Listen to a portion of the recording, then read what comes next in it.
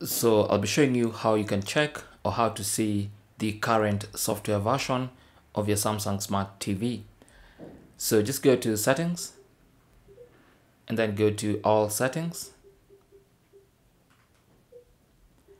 In the all settings window, just scroll down to support, select that, and then scroll down to about this TV, select that, and then you should see this little window with the product information.